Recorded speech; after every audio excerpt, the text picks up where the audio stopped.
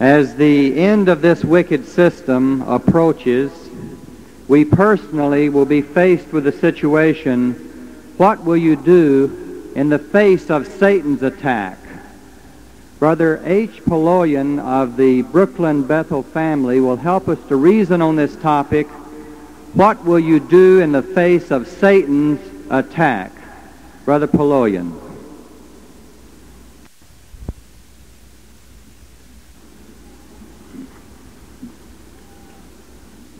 In most places, crime is a constant threat to our security.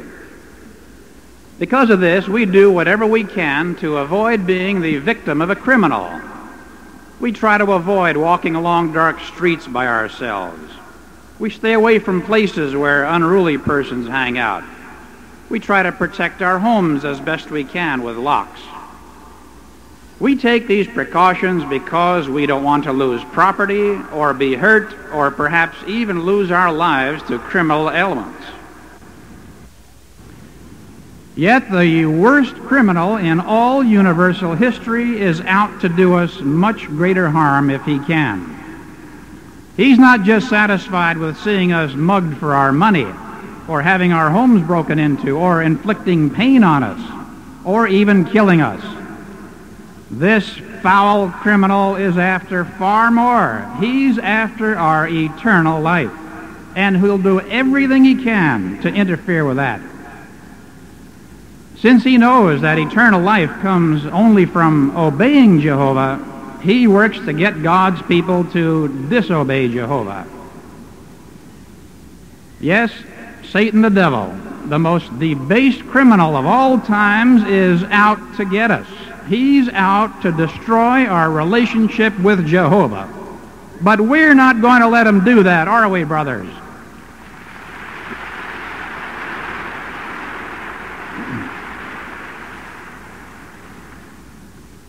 Yet, if we take precautions in our daily living because of the threat posed by ordinary criminals, should we not take even greater precautions against Satan since he's far more dangerous? What makes the need for this precaution even greater is that our enemy is invisible. But we know that he's nevertheless very real. We know that storm winds are invisible, but look at the destruction they can cause. So too with Satan. Invisible, true, but highly dangerous and destructive. And Satan, having once been in the truth, knows a greater variety of attack methods than the average criminal. But whatever the method, his goal is to break our integrity to Jehovah. Remember, he even offered Jesus vast benefits for just one act of disobedience to Jehovah. However, our God knows exactly what Satan's methods are. And Jehovah takes care of his people by pointing out those methods and what we can do to protect ourselves. That's why the apostle Paul could say of Satan at 2 Corinthians 2:11, "We are not ignorant of his designs." Very often, Satan has employed the frontal attack that is persecution that includes violence or imprisonment. This was used against Jesus and the apostles.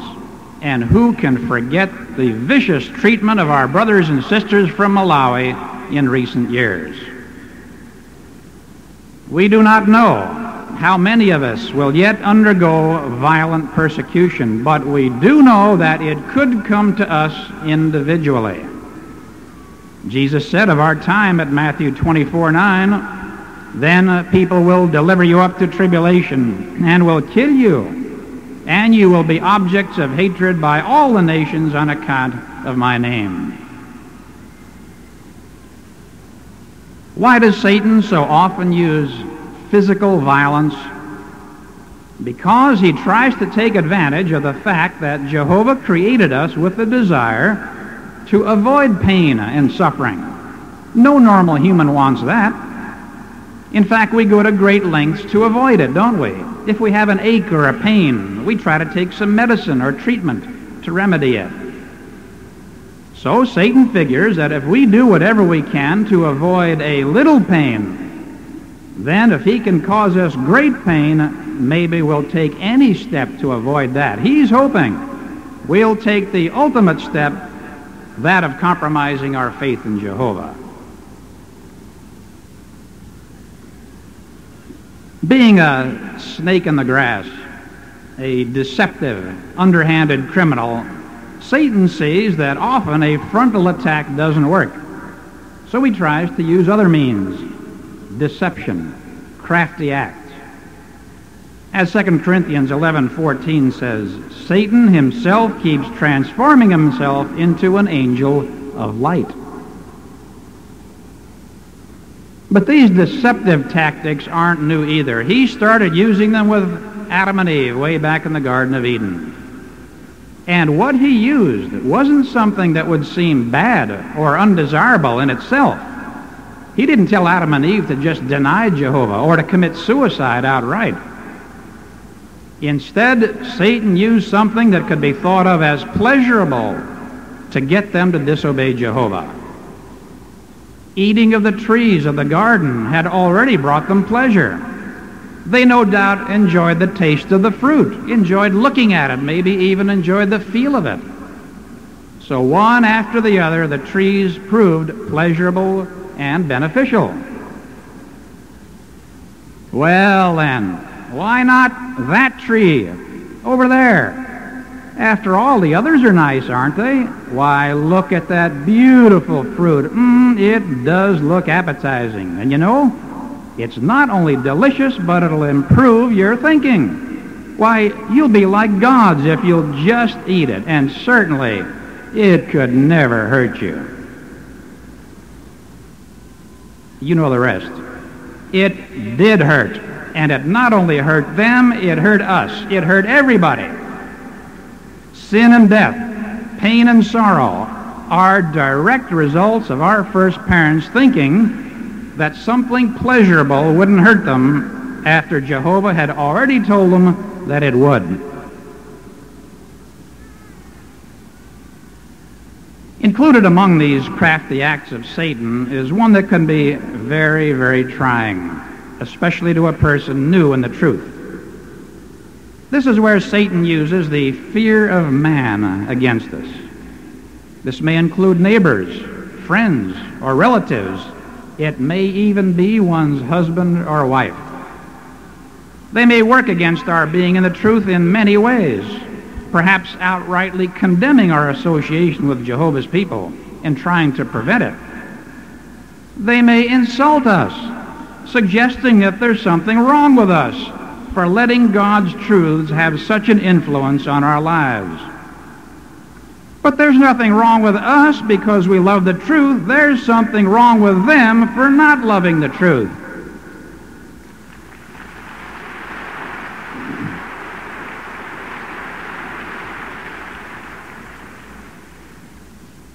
It's not an easy thing to see people you know turn away from you or against you because of your faith in Jehovah. It's surely very heart-wrenching when this turns out to be someone you love. But it could happen, and we should be prepared for it if it does. For Jesus said at Matthew 10:36, "Indeed, a man's enemies will be persons of his own household." Another avenue that Satan craftily exploits is our desire for material things. Wanting sufficient material items to make our lives comfortable and enjoyable is normal and proper. But Satan tries to get us so sidetracked in pursuing them that we have to let go of something else, and he hopes what we let go of is our relationship to Jehovah. In this area, there are many things that could be enjoyable and not improper in themselves, but that could seduce us if carried too far. One such is sports. Men, especially from their youth up, are attracted to sports events. Here, the servant of Jehovah must be very careful that this form of recreation doesn't become unbalanced. But how do you know when it is? Well, if it takes away from your attendance at Christian meetings or serving Jehovah in the field ministry at the times you've set aside for it, or if it encroaches on your time for studying God's Word at home or your family responsibilities, then you know you're already in a danger area. Some of you brothers who enjoy sports, can you reel off statistics on ball players such as who's hit the most home runs or who has the highest batting average in baseball? Do you know what the quarterback situation is with the Dallas Cowboys this year? Do you know who won the NBA playoffs this year and who was voted the most valuable player in them? Do you know what horse won the Triple Crown recently and what kind of records he set in doing it? Now, most of you sisters have little idea what I'm even talking about in these events. Sisters generally don't have an active interest in sports. But some of you brothers, you know you could probably answer most, if not all, of those questions. Is this to say that taking some interest in sports as recreation is wrong? Well, no more so than watching television or doing a number of things you may get pleasure out of for recreation. But what if we know more about sports and people in sports than we do about Jehovah, his purpose, the lives of faithful men of Bible times? Would this not indicate an imbalance in our lives? Would it not be good then to exercise caution in this area so as not to let anything, however enjoyable, interfere with our main concern in life? No doubt some of you sisters may now be inclined to tell your menfolk as soon as you get a chance, uh, if you haven't nudged them with your elbow already, you may say to them, see, what did I tell you? I told you not to watch those old ball games. But sisters, what about the time you spend shopping when you don't really need something? Or looking at women's magazines? Or sewing more dresses than you really need? Or spending time talking about such things? The point being made here is not that all these things are evil in themselves, but they could be if we go to the extreme, if we let them get in our way of worshiping Jehovah. So in these areas, it's really a matter of keeping things balanced, isn't it? Another area that Satan finds fruitful has to do with the fact that we observe others making mistakes. And this can upset us especially when the person making the mistake is an elder or a ministerial servant. Yet, does the Bible say that we're all imperfect except elders and ministerial servants? No, they're going to make their share of mistakes too. But rather than blow out of proportion the mistakes that we all make, why not concentrate on the good that's being done?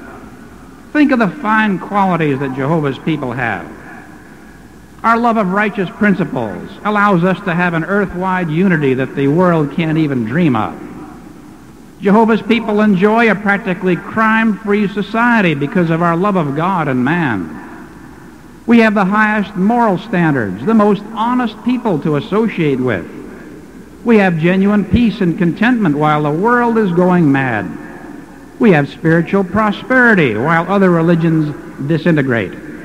And we have the grandest possible hope for the future drawing very near. Brothers, aren't we all grateful to Jehovah for such marvelous blessings?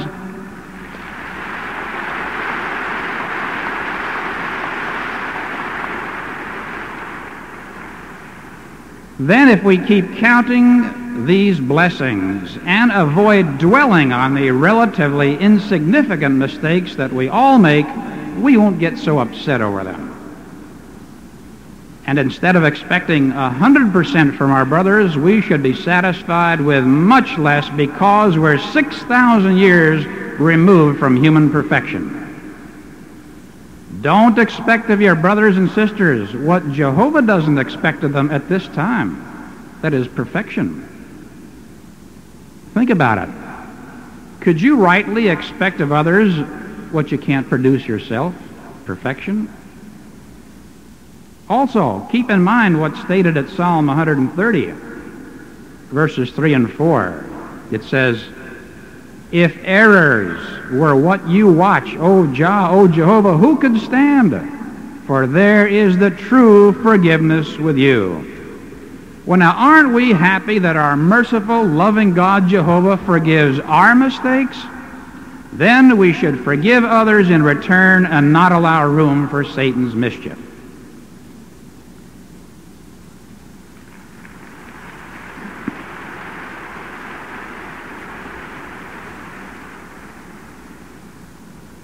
Of all the crafty means that Satan uses to try to break a person's integrity to Jehovah, sexual immorality is second to none. You know, the majority of those who've been disfellowshipped from Jehovah's organization have committed some kind of sexual immorality. Paul at 1 Corinthians 10.8 shows that because of this, 23,000 Israelites fell in one day. Think of that. Satan seems to take some kind of perverted glee at using something clean and honorable that Jehovah has given to man to work against man's best interest. He tries to make it seem that forbidden sexual fruit is somehow more attractive than honorable marriage. But it is not. It produces rotten fruit. It produces trouble, family breakups, damaged consciences, possible venereal disease and unwanted pregnancies and disgrace. Since the fruits of immorality are so rotten, it has to be a rotten tree. And for a person in the truth, it can produce the rottenest fruit of all. It can get him disfellowship from Jehovah's organization. But to lose Jehovah's favor, especially now, so near the end of this system of things, may mean to lose life forever. What a fantastically heavy price to pay for being caught off guard by Satan's crafty methods. It's surely not worth it. Thus,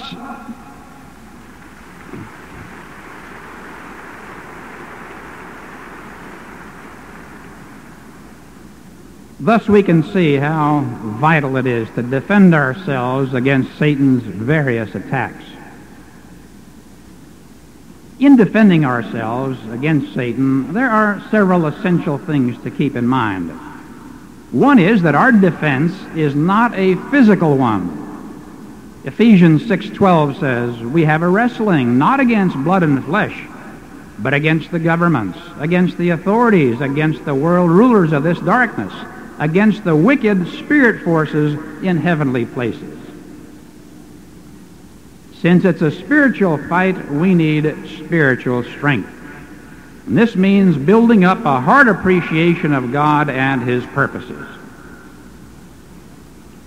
Another all-important essential is to understand why God permits Satan's attack. He permits it because one of the issues Satan has raised is that humans can't do what's right without being bribed. So, permitting Satan's attack tests the loyalty of Christians. And in this way, those not serving Jehovah out of love for him are sifted out. As Jesus said, Satan has demanded to have you men to sift you as wheat. Also, it's important to always keep in mind where the attacks come from.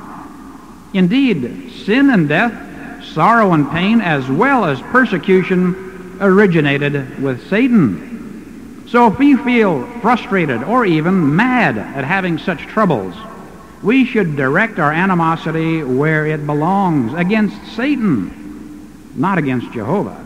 Satan is the cause. Our hatred should be directed against him and his foul system of things.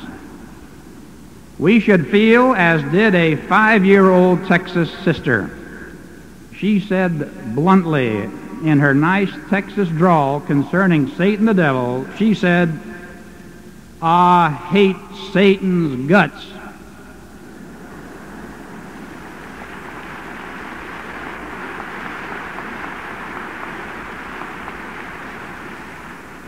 Well, we may not put it quite that bluntly, but that's the way we feel about it, isn't it? So while Jehovah allows persecution, he sustains us with his powerful Holy Spirit if we do our part. And that's another essential to remember, is that our integrity to Jehovah doesn't have any automatic, uh, what we might call breaking point. If we do our part, Jehovah will do his. If we go as far as our imperfect human flesh will carry us, Jehovah's promised to take us the rest of the way. Psalm 55:22 says, "Throw your burden upon Jehovah himself, and he himself will sustain you." Never, think of that, never will he allow the righteous one to totter. The proof of this is that our faithful brothers have experienced all kinds of horrible persecution in ancient times and in modern times, and they have not compromised. This shows that Jehovah's Spirit is far more powerful than any device that men or wicked spirits can use against us. Let's listen now to two sisters who are discussing this very same point. We'll see how the experiences of Jehovah's servants in our day testify to his help in time of need.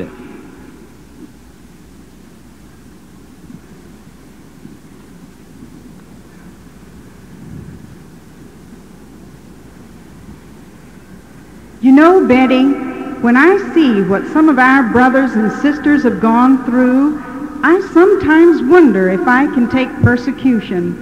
I guess the thing that really frightens me the most is the thought of undergoing physical violence and pain. I can understand that, Rose, and especially us being women. We don't like the idea of being physically attacked. Yet I often think of how Jehovah helps his, his people in these situations. For example, do you remember what happened a few years ago in the United Arab Republic? No, I don't think I remember. What happened there? Well, violent persecution broke out in that country. The brothers had their property taken away. They lost their jobs, were arrested, and savagely beaten. At a police station, one of the brothers was undressed. His mouth and eyes were covered, his feet and hands tied, and he was forced to lie down on his stomach. Then he was beaten unmercifully with a leather belt. This same brutal treatment was given to a 64-year-old brother, even though he suffered from a serious illness that caused his hand to tremble all the time. Oh, that's just awful. In Cairo, another brother was beaten for three hours because he refused to sign a statement that he would discontinue being a witness for Jehovah. He was given a few hours to think the matter over and was again taken in and beaten almost continuously for six more hours. One of the other brothers suffered such a terrible beating that it caused another prisoner who was just watching to faint. Well, did those brothers compromise their faith? No, they didn't. Those brothers explained in what a wonderful way they were strengthened and comforted by Jehovah. One of them said, While I was lying on the ground being beaten, I was praying to Jehovah to help me to endure this torture. I was very happy because Jehovah, the Almighty God, did help me. Another brother said, regardless of the amount of insulting and beatings that we received, a few seconds would pass and we would not feel anything more even though the beatings continued. We were feeling that Jehovah God was always with us. That surely proves that Jehovah is with those that trust him, doesn't it? Yes. And in these cases, even the severe pain of the beatings was softened, making it possible to endure, why even the camp officials and others were amazed. In fact, one of them told a witness this. He said, I am very happy to know persons who remind me of the early Christians and who are ready to endure all persecution for the sake of the faith. I will teach my children that in the concentration camp there were true Christians in the full sense of the word and that these are Jehovah's Witnesses. Well, Betty, that helps me to appreciate that no matter what we go through, if we do our part, Jehovah will help us in wonderful ways. He certainly will, Rose, because that's what he's promised. And you know, Jehovah always keeps his promise. Thank you, sisters. It's surely a privilege to be associated with such faithful brothers, isn't it?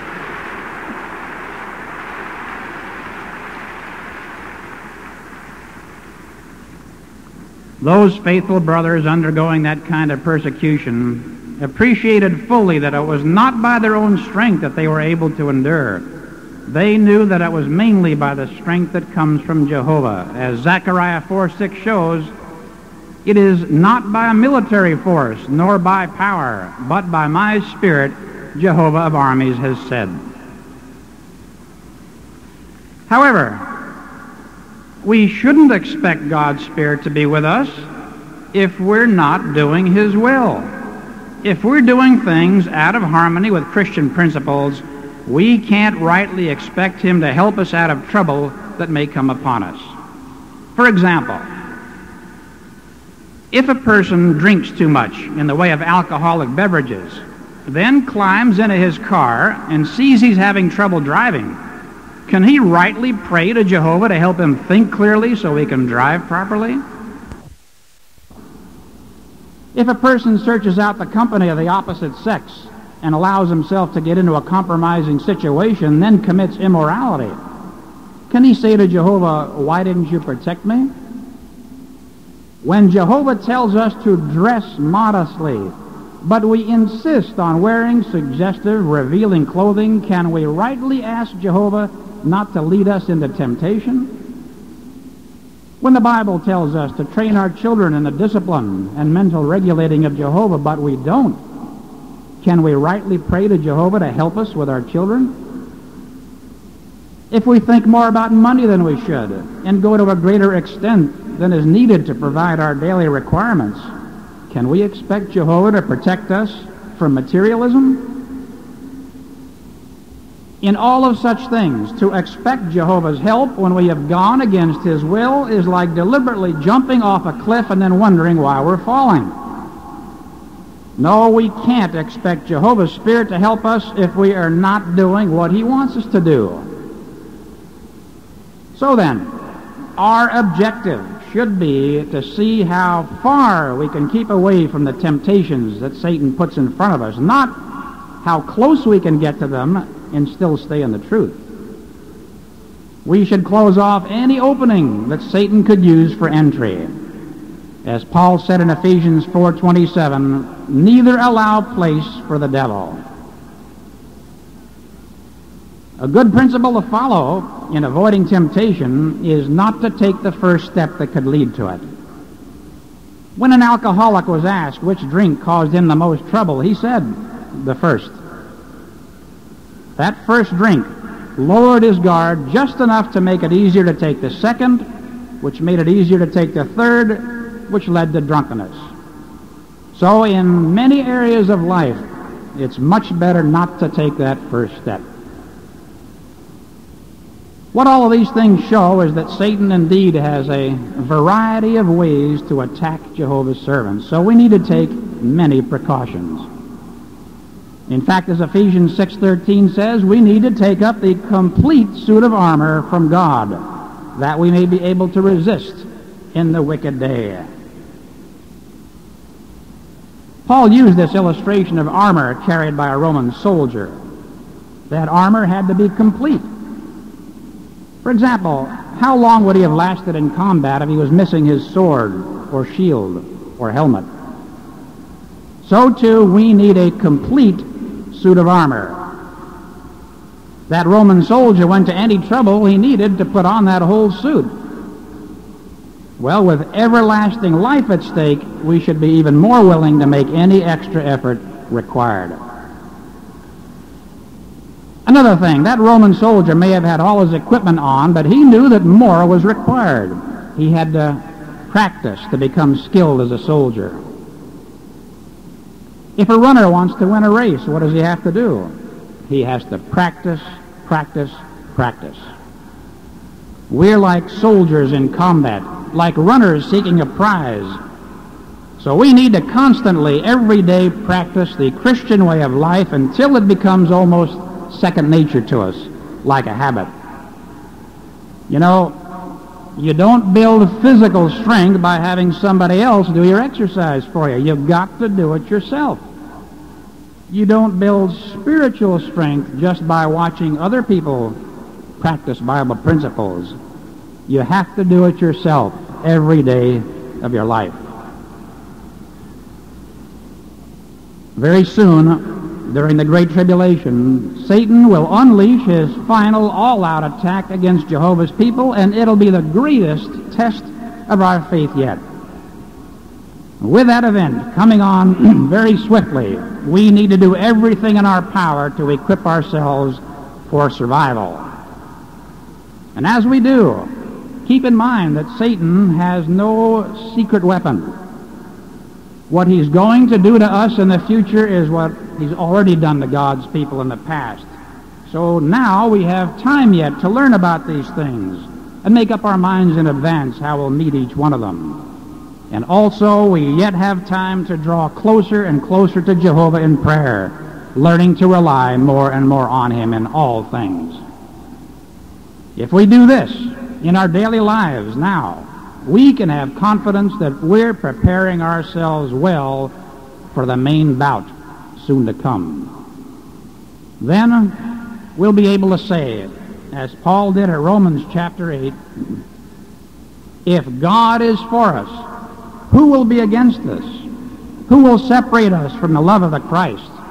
Will tribulation or distress or persecution or hunger or nakedness or danger or sword?